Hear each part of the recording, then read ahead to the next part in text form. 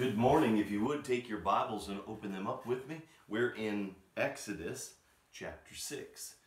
And as we left off last week, we have Moses being prepared by God to come and lead the nation of Israel out of slavery in Egypt and all the way to the promised land. In this, God is preparing Moses all along the way. And we're, we're seeing a showdown that's about to happen. We're going to see some of that today, but more so tomorrow. Uh, this showdown between the gods of Egypt and Yahweh, the one true God. Really, it's a um, a contrast and a conflict between Satan and God. And there is uh, no worry or no chance that God is not going to win this. Nothing is going to happen that God hasn't ordained and pre uh, approved. And so this is all about preparing Moses to be a partner with God and to reveal God loves the nation of Israel. God loves the nation of Egypt. God loves Moses. God loves Pharaoh. And God wants to reveal himself to all parties involved while he judges Satan. I want you to go with me to chapter 12. Chapter 12 and verse 12. It says this For I will go through the land of Egypt on that night, and it's talking about the last plague here, and I will strike down all the firstborns in the land. We'll get to that both man and beast, and against all the gods of Egypt I will execute judgment. I am the Lord. So all of these plagues are against Satan and the demons that and we're going to we've already seen how behind these idolatrous gods they're not really gods at all they're demons and God is going to show his control over them. As we left off last time we were together in chapter 5, verse 22, Moses returned to the Lord uh, and said to this people, um, no, Moses returned to the Lord and said, O Lord, why? Why have you brought harm to this people? Why did you ever send me? Uh, not a very good way to come to God. God, why? He, he Pharaoh is really big in his eyes right now, and God is really, really small. And he says, Man, I wasn't expecting any trials or any tribulations in this. Why? Why are you allowing them to be enslaved? Well, clearly he's allowing them to be enslaved so that they would not be satisfied to live in the comfort of Egypt for their entire existence. He wants to bring them out, take them to the promised land where they can serve him uh, and not get mixed up with all the idols of Egypt, even though we're going to find out that they, they do. Why did you ever send me? Well, back in chapter 3, verses 19 and 20, God already told Moses that Pharaoh, he was going to harden Pharaoh's heart. Pharaoh wouldn't listen to him. So I don't really understand how blaming God is going to help the situation. But what we see, remember, it's always about the character of God. And we would think at this point that God would be pretty tired of Moses. But we don't find that at all. We don't even find God reprimanding Moses. We find God, again, emphasizing what he said, telling him what to do, and expecting him to do it, regardless of how he feels. It says in verse 23, Ever since I came to Pharaoh to speak in your name, he has done harm to this people, and you have not delivered your people at all. Just because God doesn't work on my timetable doesn't mean that God is not working. Remember, you and I do not advise God. He does His will in His time. Our job is to submit to His will and get to know Him through the process. Moses is doing that. It's just, it's a hard process. If you are in that at all, you know this for a fact in your own life. So we come to chapter 6 and it's it's almost as this back in Exodus chapter 2, uh, verse 24, it says this. Uh, so God heard their groaning and God rem- remembered his covenant with Abraham, Isaac, Jacob, and God saw the sons of Israel, and God took notice of them. Remember, they were crying out. They weren't crying out to God, they were just crying out. God heard them. Now, God has chosen a partner, and God is speaking now. So God heard, now he's speaking, and he's asking everyone else involved, Are you ready to listen? And we're going to see that as people don't listen too well, uh, it, he's going to get louder and louder and louder. Um, if we see uh, with Moses, and we're going to see it all in this chapter and in the ones to follow, a good pattern. He's bold in front of the people, uh, but he's broken before the Lord. Um, I think before we even pray, I want to read some to you from Jeremiah chapter 1. Jeremiah chapter 1. Uh, remember, Jeremiah is called the, the weeping prophet. Why? Uh, we'll see here. Look at verse 4 of Jeremiah chapter 1. Now the word of the Lord came to Jeremiah saying, Before I formed you in the womb, I knew you. Before you were born, I consecrated you. I have appointed you a prophet to the nations. Then I said, Alas, Lord God, behold, I do not know how to speak. Does that sound familiar? I'm too young, I'm a youth. But the Lord said to me, Do not say I'm a youth, because everywhere I send you, you shall go. And all that I command you, you shall speak. Do not be afraid of them, for what? I am with you to deliver you. Sounds just like the Great Commission in Matthew 28. I'm going to be with you while you do what I've told you to do. Then the Lord stretched out his hand and touched my mouth, and the Lord said to me, Behold, I have put my words in your mouth. See, I have appointed you this day over the nations and over the kingdoms to pluck up and to break down and to destroy, and to overthrow, to build and to plant. And the word of the Lord came again to me, saying, What do you see, Jeremiah? And I said, I see a rod of an almond tree. Then the Lord said to me, You have seen well, for I am watching over my words to perform it. That's a pretty key point. The word of the Lord came to me a second time, saying, What do you see?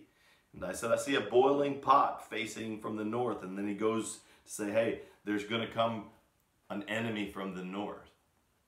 Look down at verse 17. He says, Now gird up your loins and arise and speak to them all that I commanded you. Do not be dismayed before them, or I will dis- I will dismay you before them. So you either tell them what I want you to tell them, or you're going to answer for it. He says, Now behold, I have made you today as a fortified city, and as a pillar of iron, and as walls of bronze against the whole land. To the kings of Judah, to its princes, to its priests, to the people of the land, and they will fight against you. But they will not overcome you, for I am with you to deliver you, declares the Lord. It's the same thing God talking to Jeremiah that he's telling Moses. Uh, the only problem is Jeremiah has the example of Moses. Moses doesn't have any of that. So we have to give Moses a little bit of a break. And we see God's patience in all of his dealings with Moses. So if you haven't already read uh, chapter 6, right now is the time to read it. And let's pray. Father God, we love you. We thank you for your word. May it come alive to us today. May it not just be an exercise uh, of religious ritual, but may your word speak to us. First, Father, may it speak to us about who you are. And then reveal to us who we are. So, Father, we need you today. Um, and we want to proclaim that openly and often. Help us today, Father, to glorify you through our lives and to enjoy the process. In Jesus' name we pray. Amen. Verse 1, chapter 6, it says, Then the Lord said to Moses, Now, we, the chapter break is Moses complaining against God, actually, even putting some blame on God. And God doesn't even seem to recognize it. He just said, Then the Lord said to Moses, Now, you shall see what I will do to Pharaoh. I'm, I'm going to show you. He says, Uh, for under compulsion he will let you go, and under compulsion he will drive them out of the land. You're questioning me about this, but let me tell you. Not only is Pharaoh going to let you and all of Israel go, he's going to be driving you out. He's already said all the people are going to be giving you all their valuables, their gold and their silver, just to get you to leave. God spoke further to Moses, verse 2, and said to him, I am the Lord. I am the I am. I am Yahweh. And I appeared to Abraham, Isaac, Jacob as God Almighty. God Almighty is El Shaddai. So, but by my name, Yahweh, I did not make myself known to them. They knew God Almighty and they knew the covenant name of God, but God never explained what the word Yahweh meant. The only reason God explained it to Moses is because Moses asked. But think about it. All Abraham, Isaac, and Jacob got from God was promises. Moses comes along 400 plus years later and he's seeing some of the fulfillment. He won't see all of the fulfillment, but he's seeing the promises of God fulfilled. And so Moses has a close, intimate relationship with God. And we're going to see that as that plays out in here. But right off the bat here, he's, he's reminding him, I'm the one in charge. I'm God. You're not. He says, uh, I did not make myself known to them. I also established my covenant with them to give them the land of Canaan, the land in which they sojourn. Furthermore, I have heard the groaning of the people of Israel. I've heard their groaning. Now I'm speaking and I'm wondering if they're listening. I'm also going to be speaking to you, Moses. Are you listening? I'm also going to be speaking to the Egyptians. Are they listening? I'm also going to be speaking to Pharaoh. Is he listening? Furthermore, I've heard the groanings of the sons of Israel because the Egyptians are holding them in bondage. I have remembered my covenant. So, in answer to chapter 5, verses 22 and 23, God says, I've seen everything that's going on. Just because I'm not acting on your timetable doesn't mean I'm not acting. Say therefore uh, to the sons of Israel, I am Yahweh. And then he's going to give four promises. These promises uh, are in the in the Passover Seder meal. There's four cups. There's actually five cups that are, are drank in the celebration. Four of those, they, they're all connected with a promise. And four of those promises are found right here. And we're gonna we're gonna read them and then we'll review says, I am the Lord, I will bring you out, out from under the burden of the Egyptians. I will deliver you from their bondage. I will also redeem you with an outstretched arm and with great judgments. Then I will take you for my people, and I will be your God, and you shall know that I am the Lord your God, who brought you out from the burden burdens of the Egyptians. So one, two, three, four times he uses the covenant name, uh, affirming to them. And first, the first uh, promise I'm, I'm going to bring you out from this land. Uh, I'm going to, your circumstances are going to change. You're, you're not going to be a slave in Egypt. Second, though, when he says, I will deliver you from their bondage, there's more to that. I, am gonna, I'm gonna set, I'm gonna bring you out, but I'm also gonna set you free. The idea is that, first of all, I'm gonna take away your slavery, but just taking away the slavery doesn't take away the slave nature. And we're gonna see them for the next 40 years struggle with the slave nature. Of, of being a victim and it's always bad and da da da da. I'm powerless in this. Um, third promise I will redeem you. I will buy you back, and then I will. You'll be my people. All of these four are part of the Seder meal, the Passover meal. Remembering Passover. We'll get to Passover on the last plague. The fifth cup is the cup that doesn't come till later. It's called the Elijah cup. It's the cup of God's wrath. This is the cup that Jesus says he he um, he's not going to drink until he in the in the last Passover meal. Says, "I'm not going to drink with you. I'm not going to drink that God's going to deliver me because He's not going to deliver me. He's going to drink the wrath." When he's in the garden, he says, "Let this cup pass from me." He's talking about this fifth cup, this Elijah cup, and he drank the wrath of God uh, when he cries out, My God, my God, why have you forsaken me? So that's just a connection. F.B. Meyer wrote this, and I think this is um, interesting with the covenant name of God. He writes this When all human help has failed, and the soul is exhausted and despairing, has given up hope from any man, God draws near. And God says, I am. I am. As we looked at these verses, there's five statements of I will, I will, I will, I will, I will, and God performed every one of them.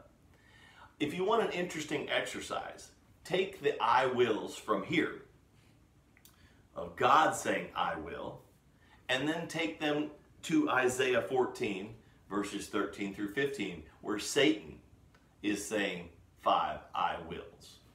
And you can see very quickly that the five I wills that God said were all fulfilled. The five I wills that Satan said, none of them will be fulfilled or are fulfilled. And so Satan is a liar. God is God. And, and he, God is showing that very clearly um, here. So I, I want to bring out this aspect. In, in verse 7, it says, Then I will take you for my people, and I will be your God, and you shall know that I am the Lord. So remember, God's speaking. He says, I want you to get to know me. Okay? So is God mad at the nation of Israel? Is, is God doing these things against Israel? And clearly the answer is no. We've already seen that God is wanting Moses to get to know him also, all the way back at the burning bush. Now, let's connect this. If you go to chapter 7, verse 5, it says, Then the Egyptians will know that I am the Lord. So here's another wrinkle in this. Not only does God want to reveal himself to Moses and to Israel, but also to the Egyptians.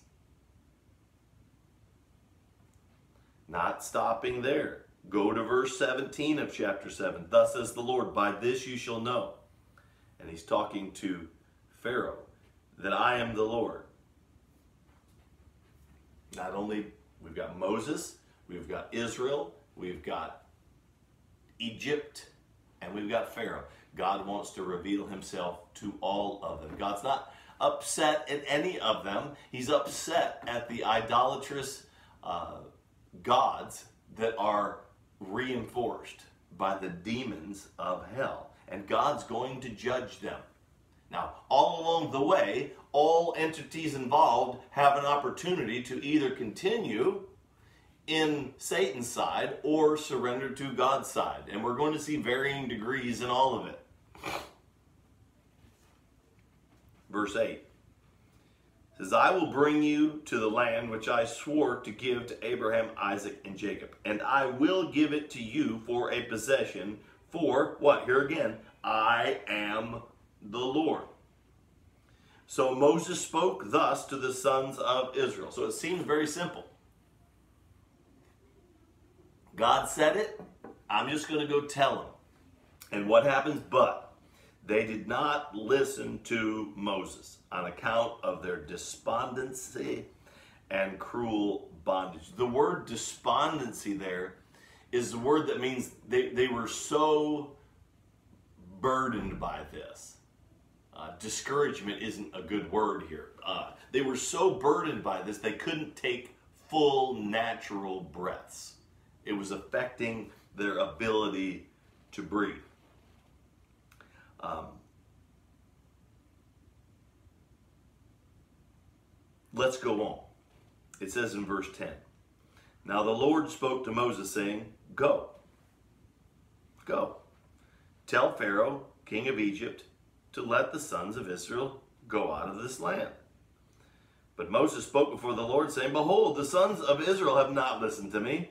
How then will Pharaoh listen to me? For I am unskilled in speech. I think it's interesting here how God, okay, so Israel basically has rejected what M- Moses said to them, but it doesn't matter because God's the one doing this. Of course, they would reject him because it's causing more pain in their life. They don't have any understanding, they don't know God at all. Moses is just getting to know God, so he's struggling in this also. Go. God's basically saying, uh, ignore your feelings, ignore the feelings of this nation, because neither one of you really know me, but you're going to get to know me through this process. So ignore your feelings and just do what I've told you to do. And he comes up with a different excuse. Before he said, I was, you know, I'm not a good talker, I'm not eloquent. But here, and the, the New American Standard says unskilled in speech, but really that's not the term here. It's uncircumcised of lips. Basically, what he's saying is, and if you go back to chapter 4, verses 24 through 26, Moses got in a lot of trouble for not circumcising his second son. So he wasn't part of the covenant. He was unclean, and God was going to judge him. And what he says basically here is, My lips are unclean. I can't speak your words. And all the focus seems to be on what Moses can do rather than what God has said and what God is doing. Look at verse 13. Then the Lord spoke to Moses and to Aaron and gave them charge to the sons of Israel and to Pharaoh, king of Egypt, to bring the sons of Israel out of the land of Egypt. Look, he said, doesn't even recognize. Uh, you would think that another excuse from Moses would get retribution from God, but it doesn't. God, man, you see the loving kindness, the patience of God, the long suffering here, and trying to draw Moses, his partner, in to a closer walk with him. In uh, what Moses needs and what all of Israel needs is the same thing that we need. In Romans 12, it says, I beg you, therefore, brethren, by the mercies of God, that you present your bodies living sacrifices as your reasonable act of worship. Don't be conformed any longer to the pattern of the world, but be transformed by what? The renewing of your mind. God keeps saying the same things over and over and over again to remind them and us. Because when things don't happen on our own timetable, we tend to think that God isn't answering. God is not working, but he clearly is. In 1 Peter chapter 5, um, 1 Peter chapter 5, verse 7, it says this. Well, let's go up to verse 6. It says, Therefore, humble yourselves under the mighty hand of God that he may exalt you at the proper time, his time. It says, casting all your anxiety on him because he cares for you. So in, in the waiting times, go to him, tell him. And guess what we find Moses doing? Going to God, being honest about how he feels. But what we're going to find is that what God has said is going to happen. Um, let's keep going. Verses 14 all the way to uh, verses uh, 25 give a genealogy, and I think it's very important here that it's here. It's it goes through Reuben and Simeon and Levi, and then it expands on Levi. Um, this will become important. The names here. Um, we know that Reuben and Simeon, basically, their tribes are going to disperse and be uh, they're going to be absorbed into other um, other tribes because of the sin that they were involved in uh, with his fa- Reuben with his father's wife or concubine, and Simeon with the murder of innocent people. Levi, it says, had three sons Gershon, Kohath, and Merari. These are going to be important names because from them is going to come the Levitical priesthood. Um, so the you're going to see as the tabernacle is torn down and built, put back up and torn down, they're going to have all different branches of service in uh, the priesthood. So it says Levi lived 137 years. Then it gives his different grandchildren. Um, Amram being the most important. Amram married his father's sister Jochebed, and we know that that's Moses and Aaron's parents. We've already talked about that. Um, but from Moses uh, there and Aaron, there comes some very interesting people. Korah was Moses' uncle. Korah is going to become very um, interesting in their time in the wilderness. He's going to lead a rebellion against Moses, and we'll talk more about Korah's rebellion later. Um, it tells that uh, Aaron's wife is Elisheba. She, they had four sons: Nadab, Abihu, Eleazar, and Ithamar. These are very going to become very important because we're going to find that Nadab and Abihu were serving in the tabernacle for God and they don't obey God and God's going to judge them. And then Eleazar and Ithamar will come from that. So just some important names for the future. So keep them in mind. Look with me at verse 26. It says, It was the same Aaron and Moses to whom the Lord said, Bring out the sons of Israel from the land of Egypt according to their hosts. Uh, they were the ones who spoke to Pharaoh, king of Egypt, about bringing out the sons of Israel from Egypt, and it was the same Moses and Aaron. Verse 28. Now it came about on that day, it's going to kind of link back to what was being discussed before the genealogy. Now it came about on that the day when the Lord spoke to Moses in the land of Egypt. That the Lord spoke to Moses saying, I am the Lord. Speak to Pharaoh, king of Egypt, all that I speak to you. But Moses said before the Lord, Behold, I am uncircumcised in my lips. How then will Pharaoh listen to me? I think that Moses understands his own inadequacies. He understands, at least in some degree, the scope of the job in front of him. And he's understanding that he cannot do it in his own strength. And I think this is very good things to come to. But what he hasn't really grabbed onto yet, and he will, the power of God. And we're going to see Moses grow in his understanding of the power of God. Here, when I read this, it reminds me a little bit of Isaiah chapter 6. Go with me to Isaiah chapter 6, the call of Isaiah.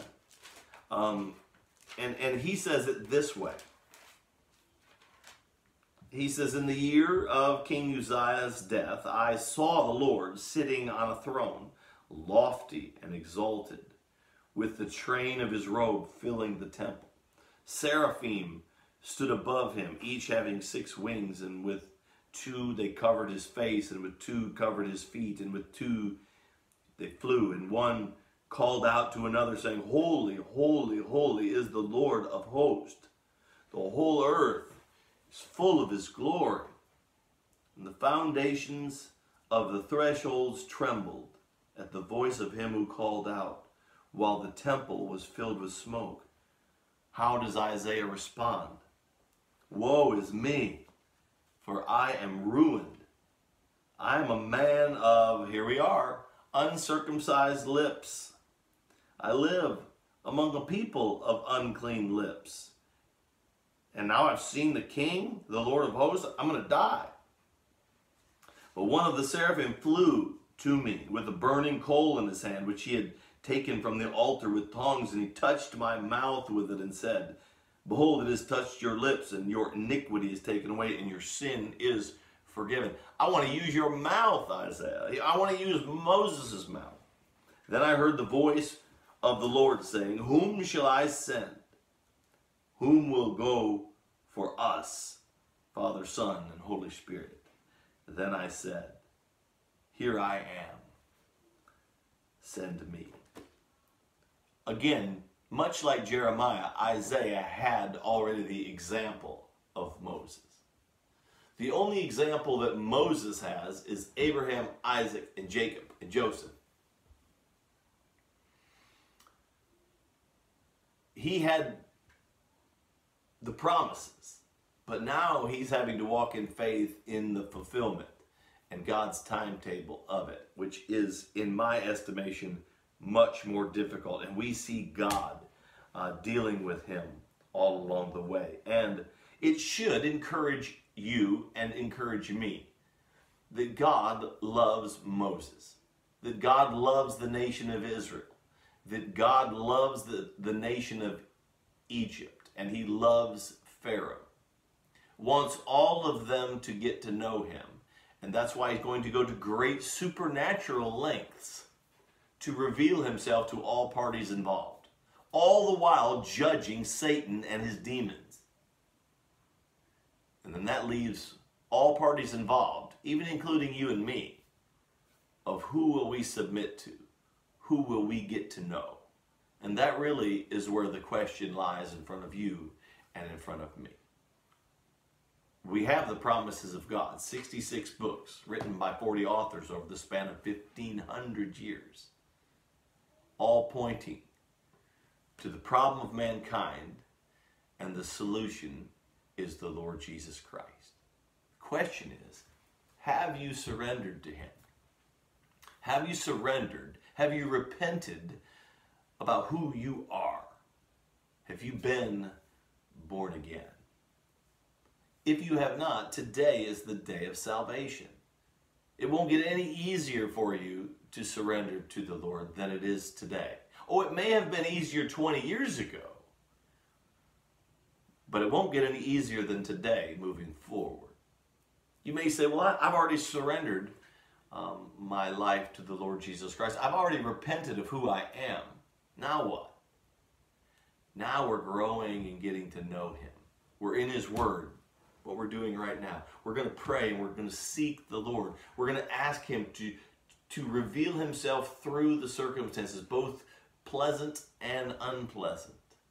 And we're going to get to know him in the process. And through this process, he's going to show us things deeds, actions, thoughts, motives that are sinful. And then we're going to have to repent of those all along the way. God will humble us. And as he humbles us, then he will exalt us at the proper time. May God honor the reading of his word today and may we grow from it. Father, we love you. Thank you for Moses. Thank you for Pharaoh. Father, I pray that we are not hardening our own hearts. Father, I want to have a soft heart for you. I want to have ears that hear your word. And I want to be sensitive to it. Help us with this today, Father. In Jesus' name we pray.